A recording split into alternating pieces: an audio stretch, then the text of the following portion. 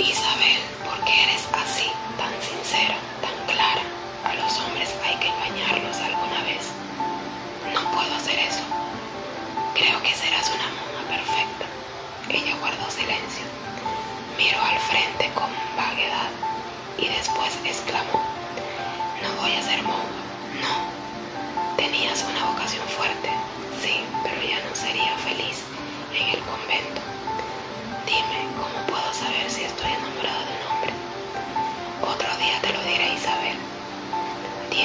De sí mismo y de ella.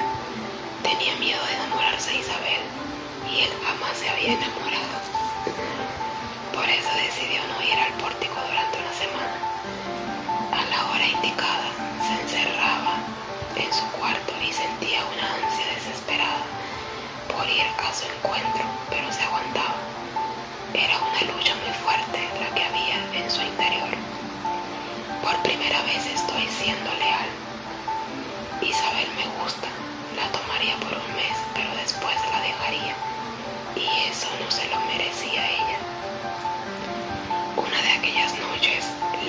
acercó y le preguntó, ¿qué le has hecho a Isabel? Hace una semana que parece una sombra de sí misma.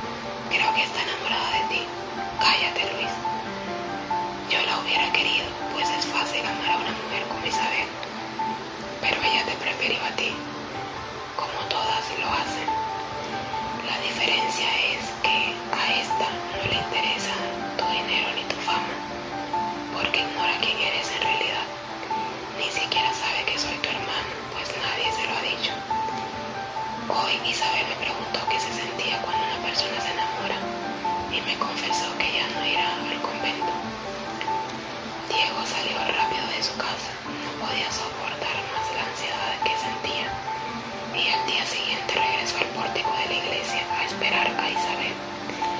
Buenas tardes, Isabel. No has venido y te eché de menos. No pude venir.